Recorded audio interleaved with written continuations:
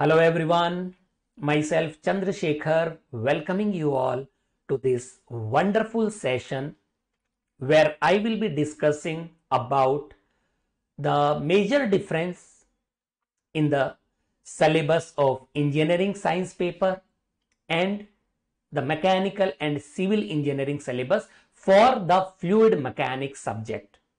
So this session is going to be important for all those gate aspirants who are going for two paper combination, who are going to appear for two papers, one for their regular stream and the other can be the engineering science.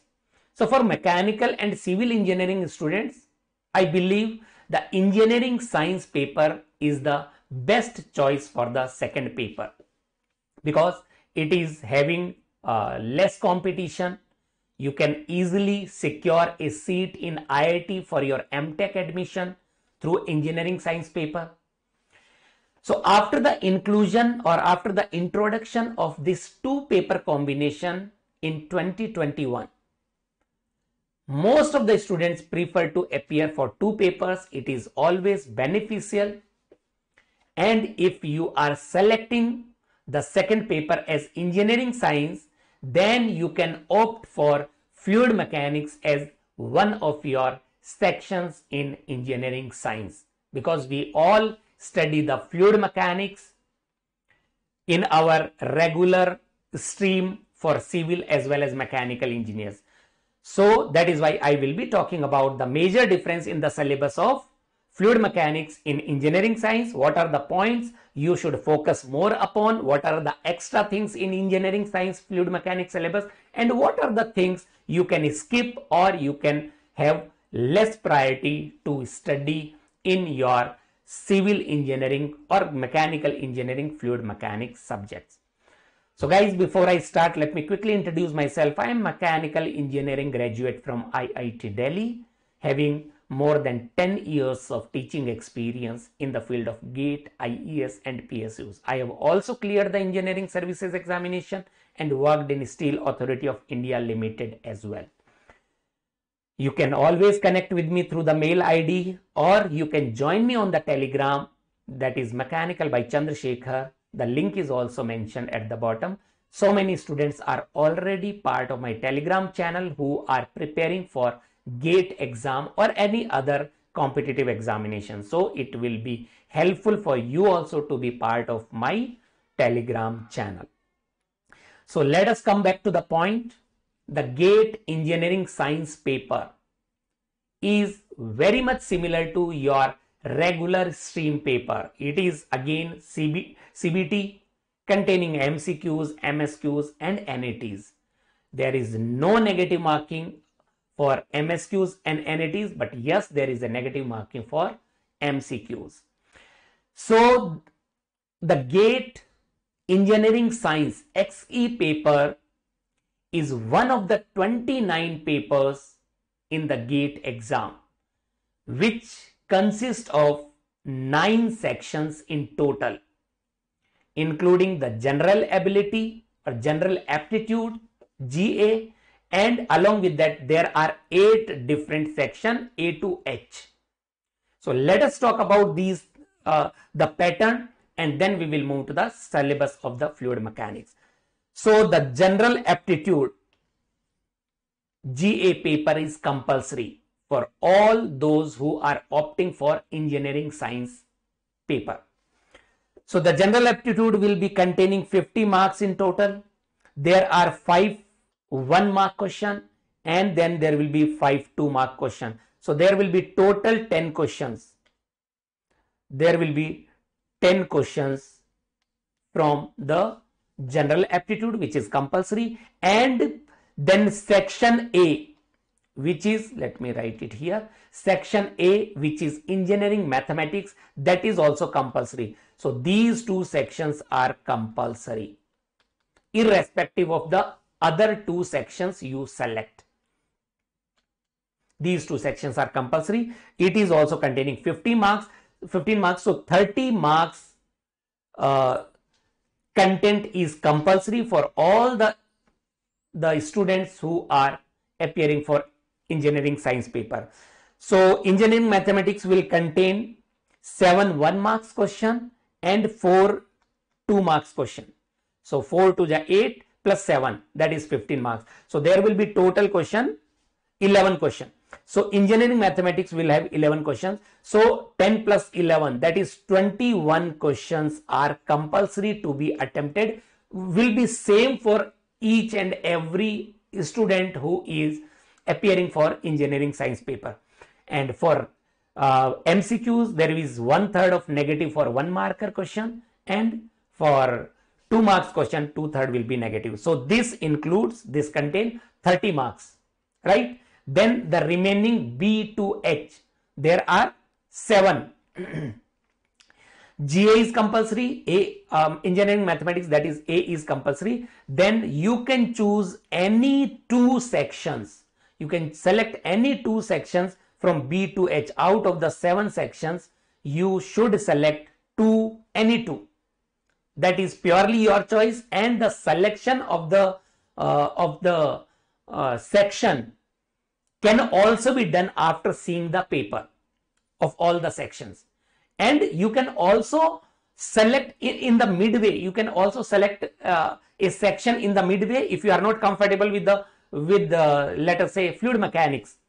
Then if you want to choose some other subject then you should deselect that particular uh, out of the selected two options you have to deselect one of them and then you can reselect the the section which you are more comfortable with. So that, that, that is the uh, flexibility you are having.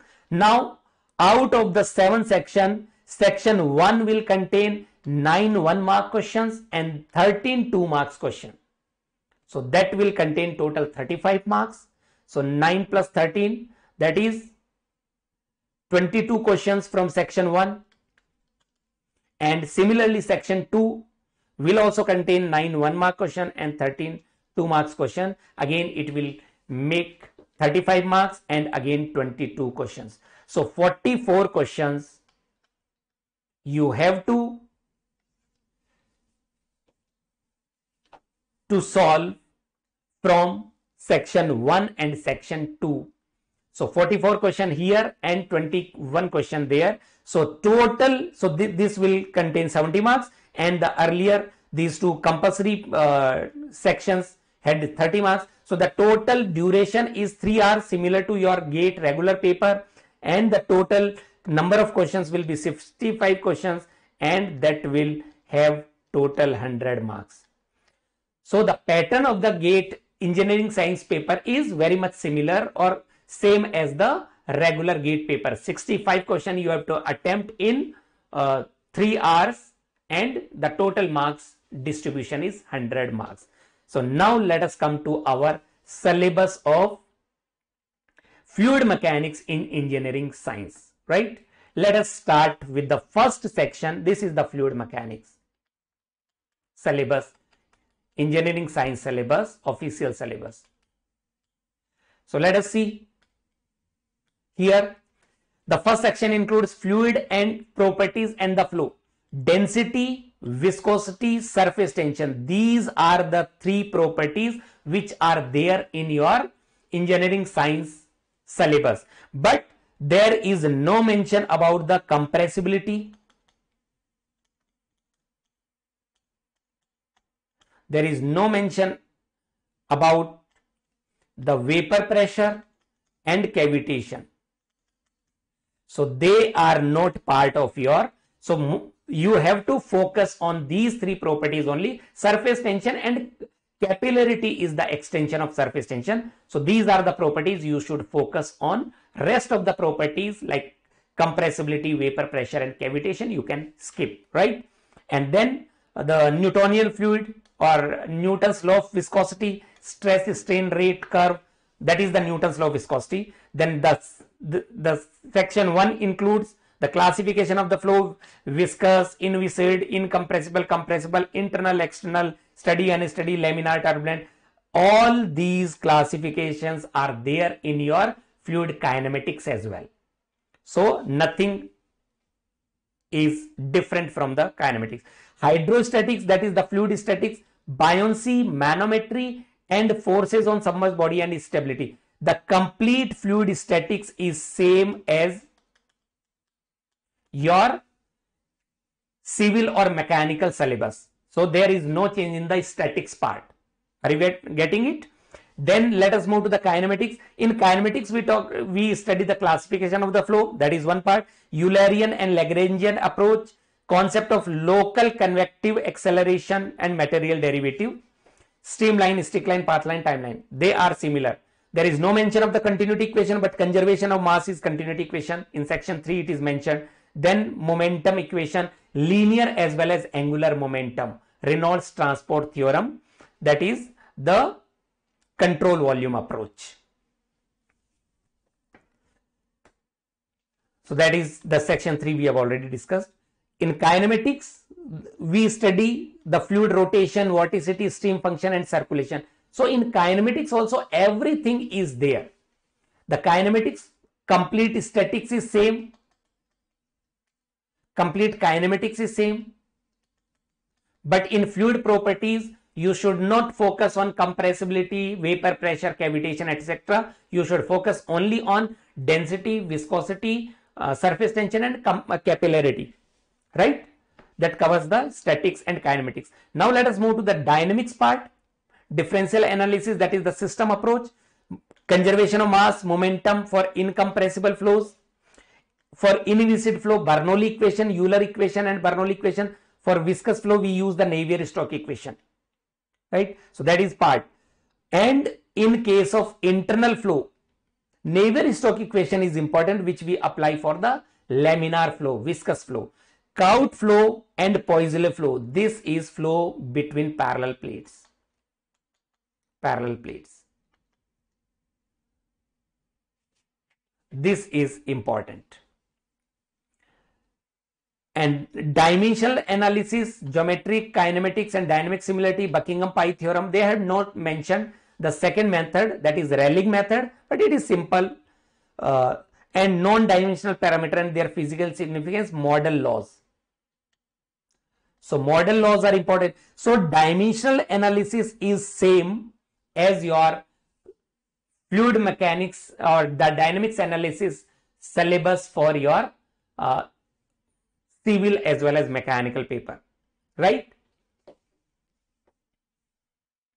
Then for internal flow, fully developed pipe flow, empirical relations for laminar and turbulent flow, all the formula related to the laminar flow in a pipe and turbulent flow in a pipe, the concept of friction factor, Darcy-Weisbach equation, Moody chart is used for turbulent flow, major and minor losses. In case of internal flow, a little lesser syllabus is there in your engineering science paper.